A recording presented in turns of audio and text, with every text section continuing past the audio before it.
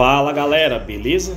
Bom, estamos com esse cristalizador de vidros Glaco, que é da mesma fabricante Soft 99, que faz uma cera muito boa, né?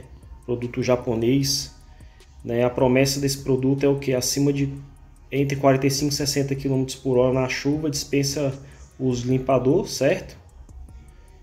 E tem um efeito um filtro aplicador, né? Aqui na ponta aqui nós vamos abrir, certo?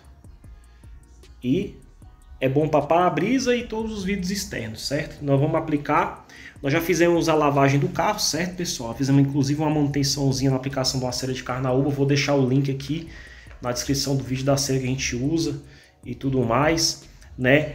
Pra, se você tiver problema com chuva ácida no para-brisa e nos vidros, também vou deixar o link aqui na descrição. Problema com chuva ácida, a gente sabe como resolver aqui também, já fizemos isso aqui no canal. Beleza? Então vamos aplicar o cristalizador de vidros e vamos ver aqui. E nesse mesmo vídeo ainda eu vou mostrar para vocês, não vamos pegar uma chuvinha, nós estamos na época de chuva aqui em Brasília, tá até nublado. Vamos pegar uma chuvinha, na hora que pegar uma chuvinha, eu vou gravar para vocês, para vocês verem o efeito repelente desse produto no para-brisa. Bom, galera, já abri aqui, certo? já vem com a espuminha aplicadora. Então basta sacudir que ele vai certo? Fazer a aplicação, tenta fazer uma aplicação bem uniforme, tá, pessoal? Aqui a gente vai fazer mais ou menos a metade do para-brisa. Vamos remover porque aqui tá, tá tempo de chuva, pessoal, mas tá muito seca ainda. Tá acabando de sair de uma seca aqui em Brasília. Certo? Então passagens bem uniformes. Aqui, pessoal, já fiz um teste prévio antes de tá gravando aqui. E aqui, inclusive, ele já tá repelindo um pouquinho até o próprio produto, porque eu já apliquei uma, uma primeira camada aqui. Certo? Então ele dá uma repelida. Então antes de secar, né? Que já tá secando bem rápido. A gente vem com a microfibra sequinha, beleza? E tira o excesso, ó. Por que, que não, é, não é bom deixar secar muito, pessoal? Porque pode manchar o vidro.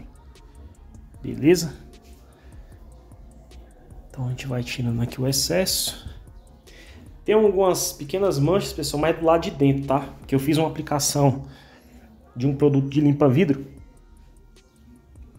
da, da Arts, que é até do Hungria.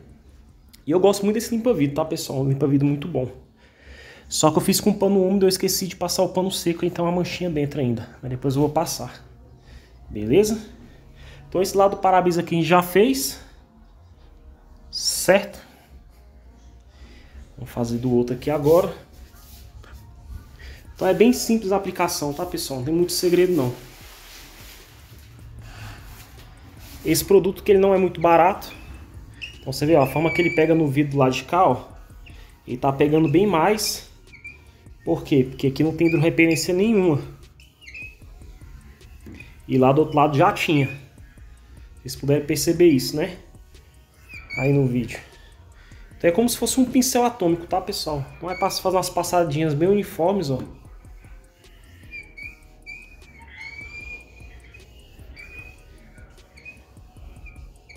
Certo?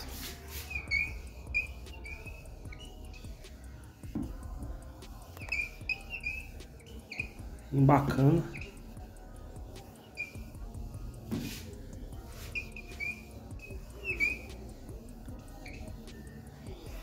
E o meu ar-condicionado, pessoal, tá com problema. Então, isso aqui vai ser uma mão na roda. Até questão de limpeza, de embaçar por dentro também. Eu usei um limpa-vidro por dentro.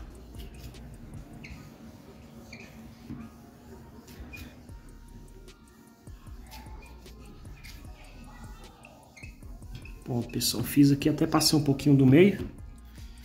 E agora vamos tirar. Vamos tirar aqui, tá, pessoal? Tá saindo com bastante facilidade.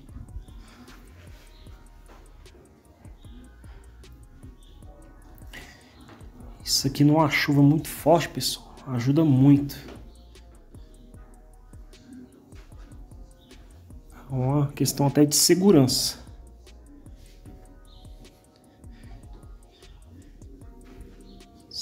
Certo?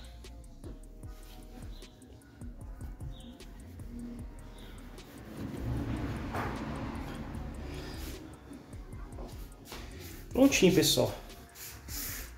Para-brisa aplicado, vou aplicar nos demais vídeos, também não vou gravar esse pedaço todo. E depois vamos voltar aqui com o teste da chuva. Bom, galera, tá começando a chover aqui. Então você vê que os pingos eles já batem e escorrem, ó. Repelência é bem legal, ó. Então acredito que é um grande adianto, ó. Você vê os vídeos laterais também. Então essa cristalização do para-brisa com esse produto aqui é top. Beleza? Espero que vocês tenham